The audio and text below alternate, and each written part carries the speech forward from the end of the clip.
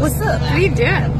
Studying the course. Getting a game plan for what's going to happen today. Buttercup.